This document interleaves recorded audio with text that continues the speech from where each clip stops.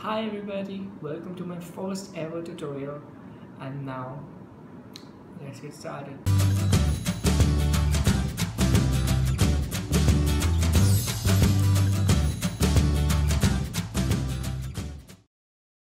Today we'll learn to make this. You must be thinking what is this? Is a video or it is a photo. Uh, it is actually called a plotagraph. Um, and now I'll show you how to make a plotagraph. For this, you need two softwares Photoshop and Premiere Pro. You can also do it only in Photoshop, but I prefer to use Premiere Pro for you'll understand. Let's get started with the tutorial.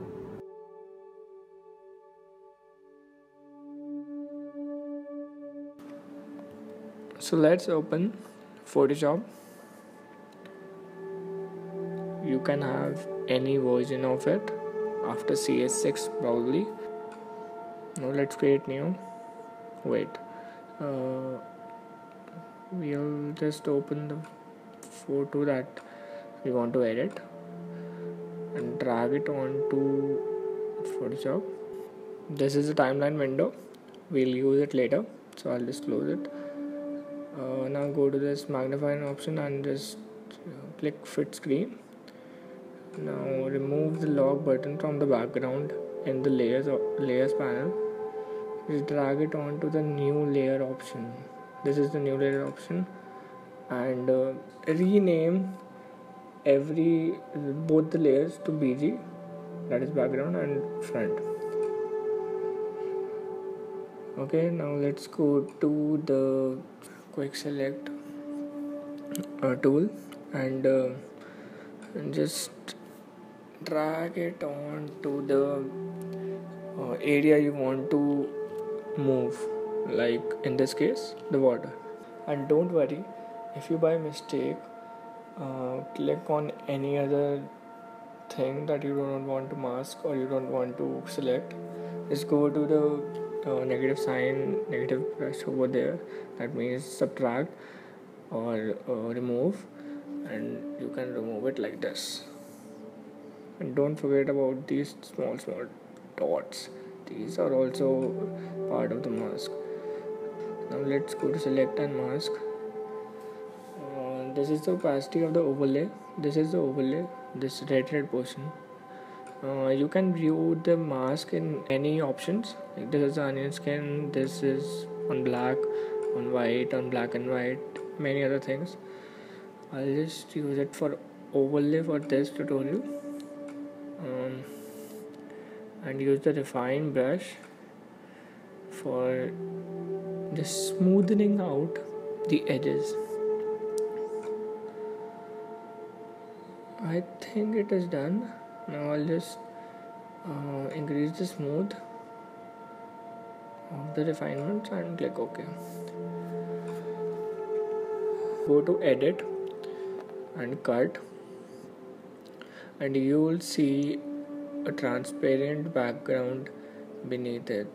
Now place this mask at the position it was it is supposed to be in the original picture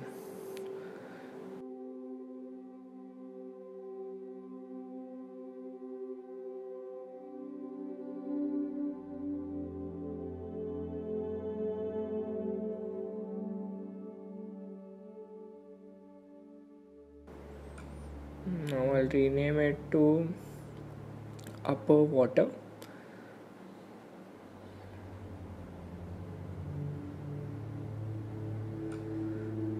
And now I'll do the same thing for this middle portion of water.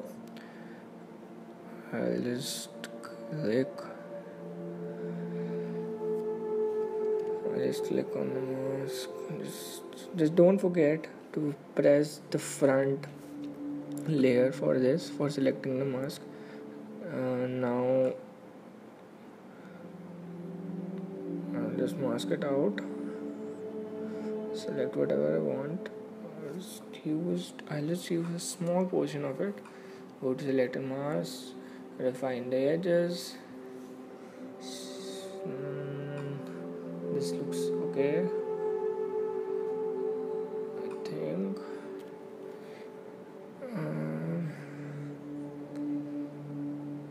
this refine tool the define brush tool can also be used when you are using when you are making when you want to cut out um, when you cut out an image that has hair in it.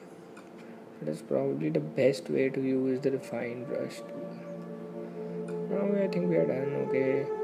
Let's go to edit cut and then create a new layer rename it to middle water and uh, just paste it. Move it to the original position and yeah. I think we are done for this. Now let's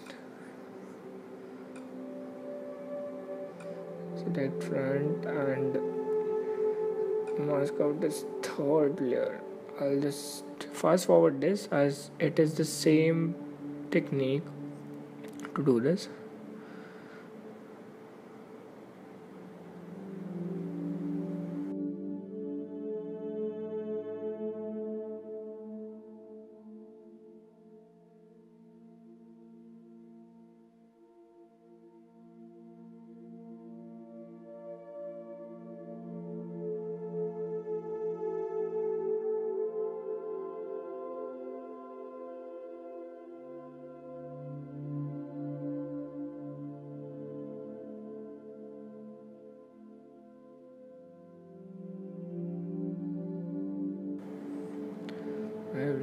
it lower water and I'll just place it to the original position.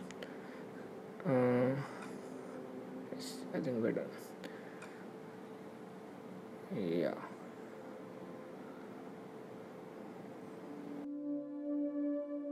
Now we'll go to the window and select timeline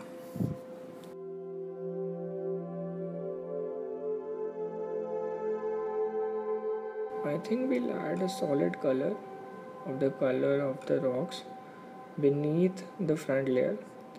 Uh, you'll know it because when we remove the BG, you can see that uh, you can see the transparent portion between uh, beneath it. So for removing it, we'll just add a solid color between front and BG.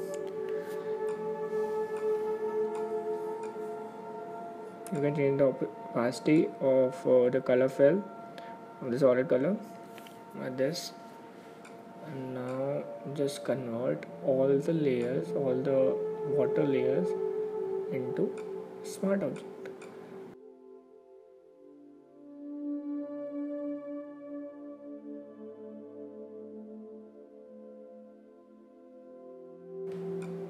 Create video timeline okay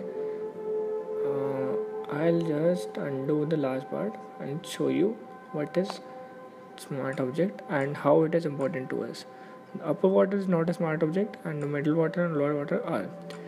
Uh, when when when a layer is a smart object, you will see the transform option beneath it in the timeline.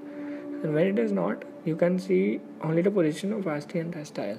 That is different. For this video, we need transform option.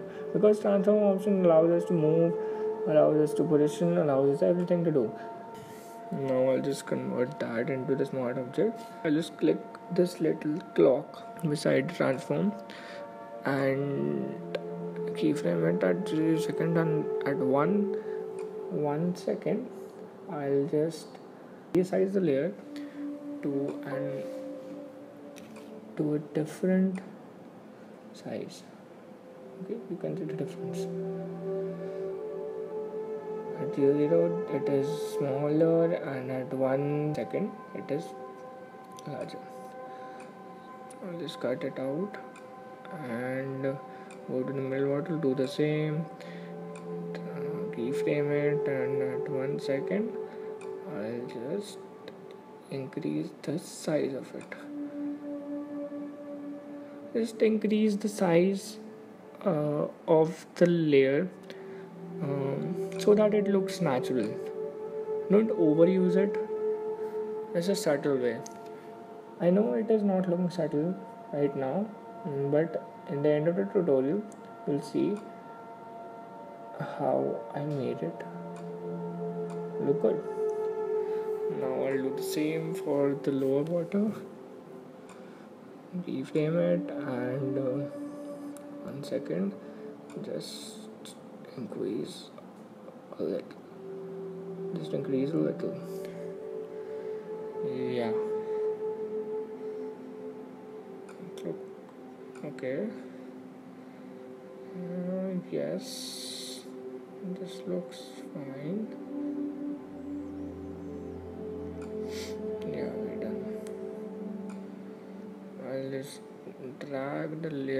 water low water copy and a copy and middle water copy and drag it down to the same video group and it will create a video group in the same line. We'll now create three video groups each containing two layers two one layer and one a copy of it um, and in it. Now I add the transition between it. I'll add a crossfade and just drag it down to between the layers. You can see the difference between the crossfade and the fade. The fade starts uh, in the fade the first layer the first layer starts uh, from 100 opacity to 0 and then uh, the second layer starts from 0 to 100 in crossfade it is like overlapping. The frames are overlapping and thus timeline of the uh, video group is decreased. Uh, just delete the fade and apply crossfade to it.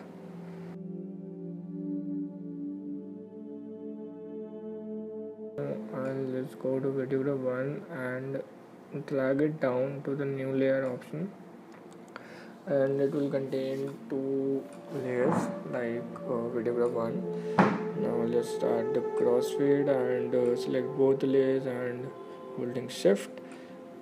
And add it to video graph 1 then we'll add the crossfade again between the layers. And delete video graph 1 copy. We'll do the same for video graph 2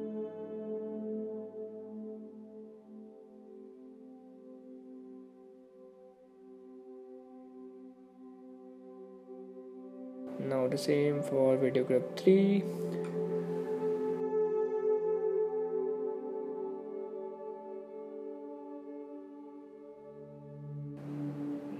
just fast forward this part and I will make it a 4 second photograph.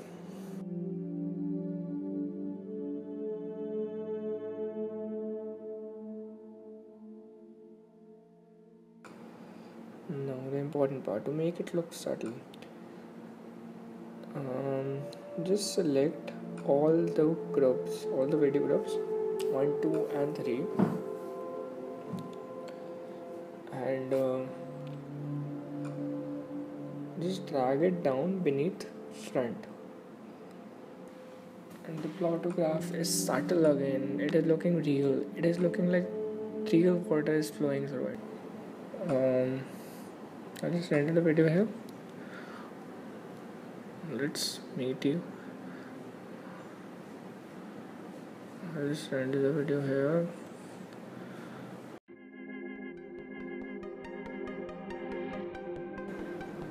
it can take some time.